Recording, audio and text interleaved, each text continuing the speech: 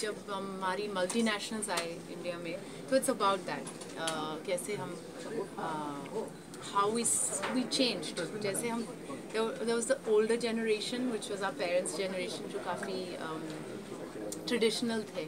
And then नया generation आ गया, where we just wanted freedom and things.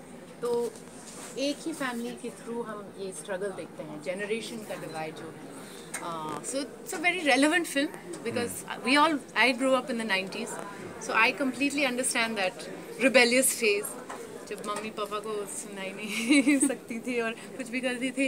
And I also come round and you know now have a better relationship with my parents तो I think the film is a very relevant subject for lot of are our generation अच्छा इतना interesting topic होने के बावजूद भी ये film commercial क्यों नहीं है आपकी नज़रिए से ये फिल्म कमर्शियल नहीं है क्योंकि बड़ी कमर्शियल कास्ट नहीं है और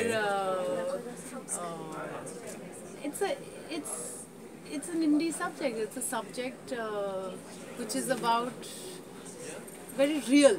Uh, it's not it's not a over the top, larger than life uh, escapist film. It's very much about our problems in our country and how we are dealing with them or not dealing with them, the conflicts that are rising. Uh, there's no songs in the film, so hard to sell it as a commercial film.